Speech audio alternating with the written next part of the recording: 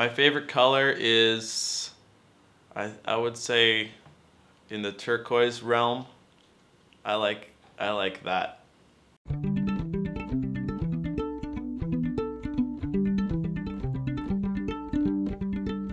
My favorite food is definitely unagi, which is eel, uh, like Japanese eel and sushi and stuff with that sauce. It's like always.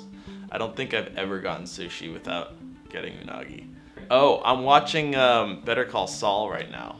I was a big Breaking Bad fan, um, as many people are, and uh, when I started watching Better Call Saul, I wasn't sure about it, but it's very much just as good, in my opinion.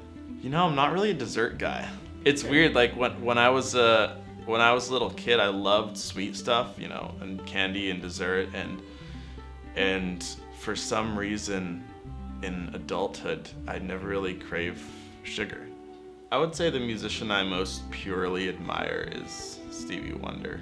It's hard to describe, but his energy and joy, pure joyfulness in everything that he does is simultaneously existing with just the pure virtuosity that he has to offer. And yeah, I think he's overall my favorite, my favorite artist. I've seen, I've seen him a couple times.